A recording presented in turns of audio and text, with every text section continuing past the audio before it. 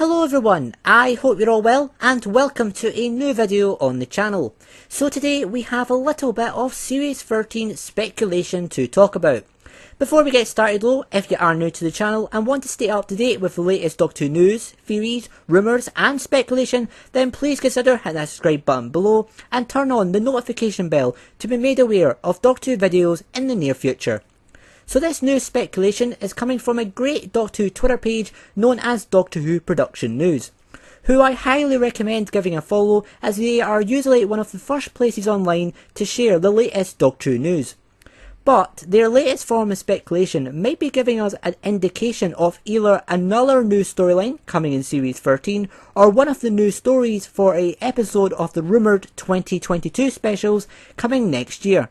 The speculation reads as follows. BBC Production are looking for Chinese and Southeast Asian men to play pirates in Cardiff on July the 1st, July the 5th and July the 6th. I googled Chinese pirates and the name, which I'm not even going to try and pronounce, but you can see it on the screen, popped up right on top. I don't know what production is looking for pirates, but my speculation is in overdrive. So obviously, it doesn't take a genius to figure out this is probably for Doctor Who, since this is coming from a Doctor Who Twitter page, and it would make sense for this possible production looking for pirates to be Doctor Who, since Doctor Who does film in Cardiff.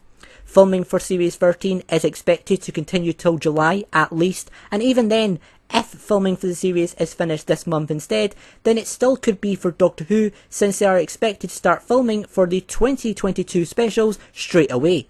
We still have to take this with a big pinch of salt, but I'd say with the dates adding up and with Doctor Who being a show that would definitely be able to have pirates involved, I think there is a decent chance this could be for an upcoming episode of Doctor Who.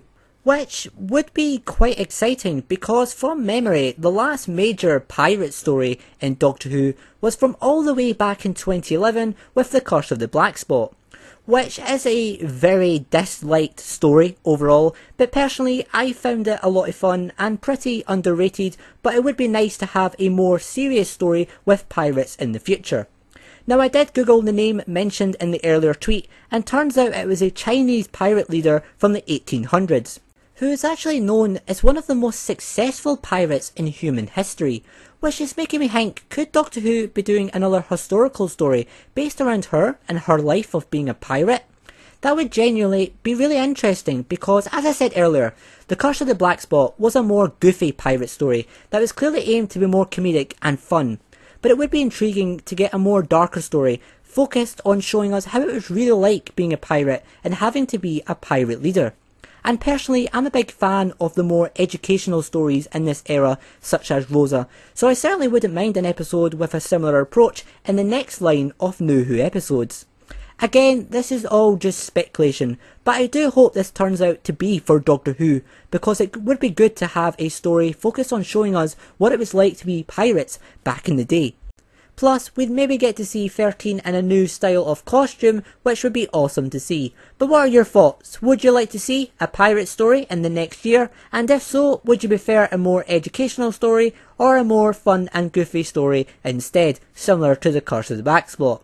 Let me know your thoughts in the comments section below, and if you have enjoyed this video, then please subscribe for future Whovian content. Thanks all for watching, take care, and I'll see you all next time. Bye for now.